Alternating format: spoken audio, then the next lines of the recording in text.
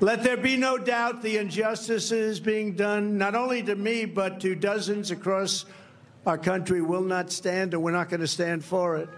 When this election is over, I will be the President of the United States.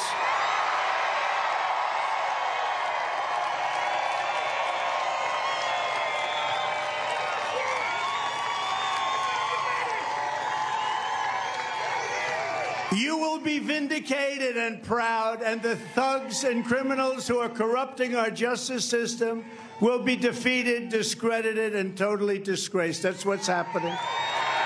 That's what's happening. From the beginning, it's been one witch hunt and phony investigation after another. And you know, because of it, our country never talks about greatness anymore.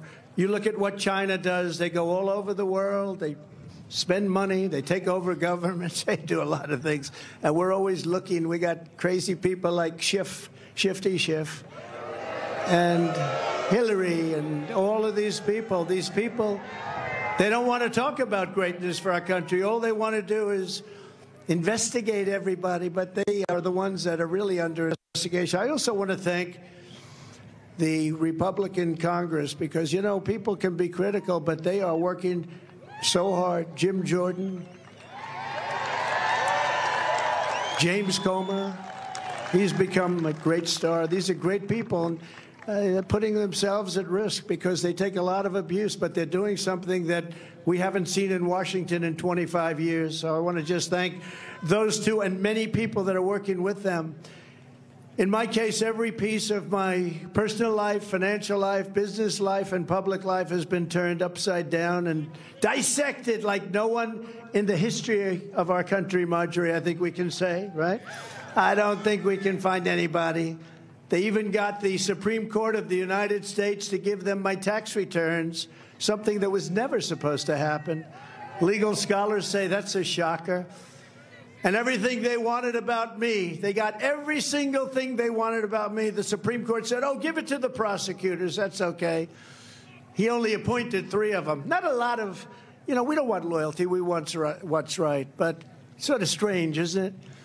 Give them everything they want. They actually came down with one ruling that, no, no, you can't do that to presidents, but to Trump you can. To Trump you can. And we've been a special administration, and we have special people. There's nobody like the people we have. They're the smartest, they're the best. These are the most. Look at all the money they're sitting over here. They're all over because, and you know what? They've made that money the old fashioned way. You're right. Front row Joe. The front row Joes will never forget them.